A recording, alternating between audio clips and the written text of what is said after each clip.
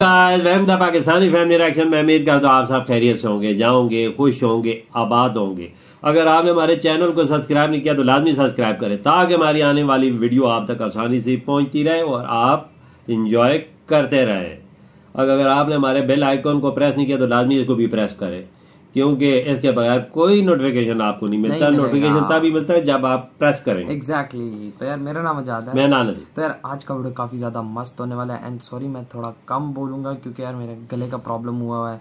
तो आहिस्ता मैंने बात करनी है ज़्यादा तेज़ नहीं करनी।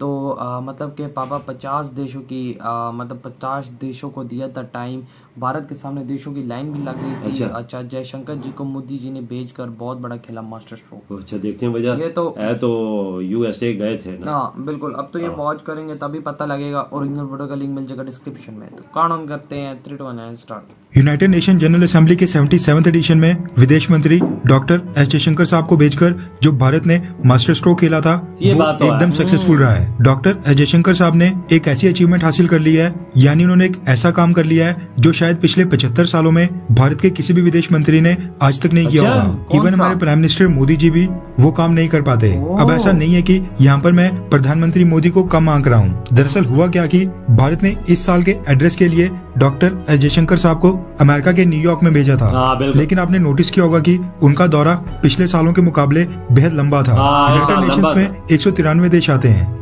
यानी एक सौ तिरानवे देशों ने यूएन जनरल असेंबली में अपने अपने रिप्रेजेंटेटिव्स भेजे थे और इसी मौके का फ़ायदा उठाते हुए भारत ने बड़ी संख्या में देशों को आउटरीच किया है। अच्छा। डॉक्टर एस अच्छा। जयशंकर साहब का यूएस दौरा 28 सितंबर को खत्म होने वाला है। लेकिन उसके पहले जयशंकर साहब ने भारत को एक ग्लोबल लीडर के रूप में स्थापित कर दिया है। रेफरेंस के लिए आपकी स्क्रीन के ऊपर भारत के टॉप जर्नलिस्ट और व्योन न्यूज़ के डिफेंस और डिप्लोमेटिक कॉरेस्पॉन्डेंट एस सिब्बल के ट्वीट का स्क्रीनशॉट है जिसके मुताबिक डॉक्टर एस जयशंकर साहब ने साइडलाइन मीटिंग्स के पिछले सारे रिकॉर्ड तोड़ दिए।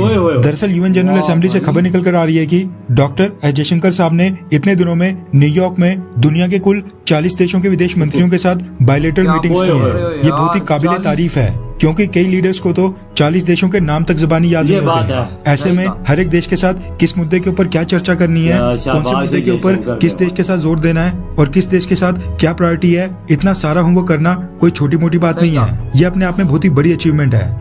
भारत के किसी भी विदेश मंत्री ने आज तक यूएन जनरल असेंबली की साइडलाइंस पर इतनी ज़्यादा मीटिंग्स कभी नहीं की है। रिपोर्ट के मुताबिक 40 विदेश मंत्रियों और काउंटर पार्ट के अलावा डॉक्टर एस जयशंकर साहब ने तीन देशों के प्रेसिडेंट और एक देश के प्राइम मिनिस्टर के साथ बायोलेटरल मीटिंग की अच्छा। यानी टोटल 44 देशों के साथ बायोलेटरल मीटिंग हुई ये थी बायोलेटरल मीटिंग जिसमें बस दो देशों के रिप्रेजेंटेटिव इन्वॉल्व होते हैं ठीक इसी तरह से एक ट्राइलेटरल मीटिंग भी होती है अच्छा। जिसमें तीन देशों के रिप्रेजेंटेटिव शामिल होते हैं रिपोर्ट के मुताबिक डॉक्टर एस जयशंकर साहब ने टोटल चार ट्राइलेटरल मीटिंग्स भी अटेंड की थी अच्छा। पहली इब्सा ट्राइलेटरल मीटिंग जिसमें इंडिया ब्राज़ील और साउथ अफ्रीका। शामिल है दूसरी ट्राइलेटरल थी इंडिया फ्रांस और ऑस्ट्रेलिया के बीच। अच्छा। वहीं तीसरी ट्राइलेटरल मीटिंग इंडिया फ्रांस और यूएई के बीच थी। और चौथी ट्राइलेटरल थी इंडिया ऑस्ट्रेलिया और इंडोनेशिया के बीच। जिन मीटिंग्स में तीन से ज़्यादा देश इन्वॉल्व थे उनको ग्रुप मीटिंग्स की कैटेगरी में रखा गया अच्छा। है डॉक्टर एस जयशंकर साहब ने यूएन जनरल असेंबली की साइडलाइंस पर कुल पाँच ग्रुप मीटिंग्स भी की अच्छा। है पहली क्वाड मीटिंग जिसमें भारत ऑस्ट्रेलिया अमेरिका और जापान के विदेश मंत्री थे। दूसरी ब्रिक्स की जिसमें भारत चाइना रशिया और ब्राज़ील के विदेश मंत्री थे। तीसरी ग्रुप मीटिंग थी जी फोर देशों की जिसमें परमानेंट सीट मांगने वाले भारत जापान ब्राज़ील और जर्मनी शामिल थे। अच्छा। चौथी ग्रुप मीटिंग थी इंडिया कैरिकॉम समिट जिसमें इंडिया के साथ करीबियन देश जैसे कि बारबाडोस गयाना जमाइका वगैरह शामिल थे। जबकि पांचवी ग्रुप मीटिंग थी जी सेवेंटी सेवन जिसमें दुनिया के 134 डेवलपिंग देश शामिल थे। इन सब। मीटिंग्स में कुल मिलाकर डॉक्टर एस जयशंकर साहब पचास से ज़्यादा देशों के रिप्रेजेंटेटिव्स के साथ मिले हैं। ये अपने आप में बहुत ही बड़ी अचीवमेंट है। क्योंकि बस भारत ही नहीं शायद ही दुनिया के किसी देश के विदेश मंत्री ने यूएन जनरल असेंबली की साइड साइडलाइंस आरोप पर पचास मीटिंग एक ही बार में अटेंड की होंगी। डॉक्टर। जयशंकर साहब के साथ साथ हमें क्रेडिट देना होगा हमारे डिप्लोमेट्स को भी।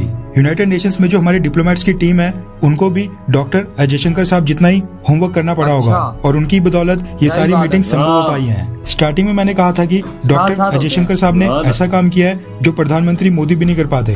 वो इसलिए बोला था क्योंकि पीएम मोदी शायद ही कभी यूएन जनरल असेंबली की साइडलाइंस पर 50 देशों के साथ मीटिंग्स करेंगे। प्रधानमंत्री मोदी का इतना बड़ा दौरा कभी नहीं होता है। इस चीज़ को संभव बनाना हमारे विदेश मंत्री डॉक्टर बहुत अजय शंकर साहब के हाथ में था जो उन्होंने करके दिखाया। अब उनकी बदौलत भारत की सॉफ्ट पावर को बढ़ाने में इससे बहुत ही बड़ी सफलता मिलेगी। वहीं इन पचास देशों में दुनिया के सभी इम्पोर्टेंट देश कवर हो गए हैं। भारत ने अपने आप को एक ग्लोबल लीडर के रूप में स्थापित कर लिया दिया है इसलिए इतने देशों ऐसी मीटिंग की रिक्वेस्ट भी आई थी। खैर आपको क्या लगता है कि क्या डॉक्टर एस जयशंकर साहब भारत के इतिहास के सबसे काबिल विदेश मंत्री हैं क्या? हाँ यार, या फिर ना?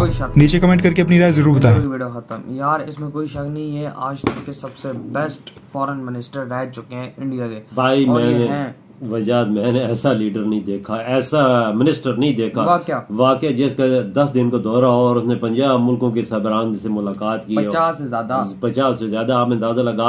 हर मुल्क के साथ अटेंड मीटिंग करना उसमें चीज़ उनके साथ उसमें वो चीज़ बातें करना एक जहन होता है ना भाई हम इनके साथ कौन सी बात करनी? है और किस डेट पे बात करनी? ये चीज़ जहन में होती है। वही ना और पचास देशों से ज़्यादा बात की है भाई वहाँ पे बातें करना देखना क्या बात करनी बिल्कुल। ये हर चीज़ का ख्याल रखना पड़ता है और एक सच्ची बात बताऊँ अब दुनिया का हर देश इंडिया से मिलने की इच्छा रखता है क्योंकि इंडिया एक वर्ल्ड लीडर के तौर पे सामने आया बिल्कुल। तो उनको लोग इसलिए और देश इसलिए मिलना चाह रहे कि वो इंडिया में इन्वेस्टमेंट करें। बिल्कुल। ठीक है उस तरह की बातें चले या इंडिया उनके देश में इन्वेस्टमेंट करे क्योंकि अब इंडिया बहुत आगे निकल बिल्कुल आगे निकल चुका है। यही बात है वजह यही मुद्दा है। यही में, में अपना जयशंकर साहब इसी सिलसिले में मिलते हैं ना।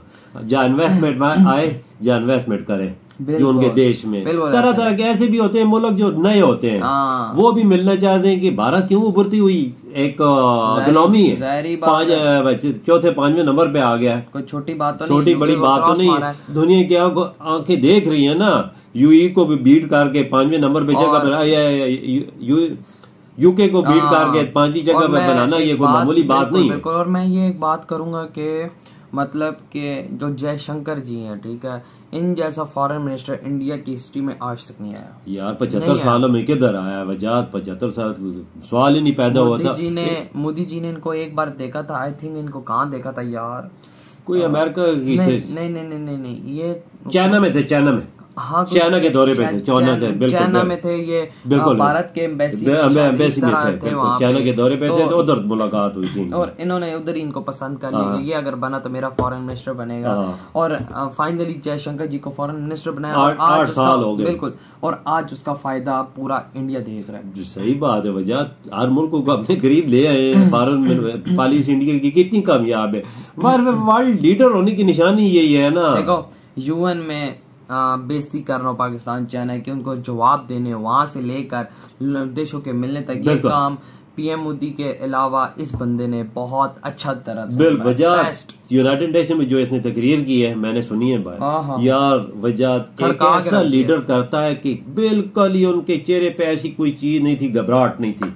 ये हमारे मिनिस्टर वज़ीर आज़म साहब तकरीर कर रहे थे पर घबराए घबराए घबराए हाँ, घबराए। सही कहा। जय मिनिस्टर जयशंकर वो ए ज़बरदस्त बोल इतनी ज़बरदस्त इंग्लिश तो यार आप लोग बताएँ आपकी क्या थॉट है? इधर वीडियो खत्म करते हैं हमने बहुत ज़्यादा खैर रखी है। तो तो बाय बात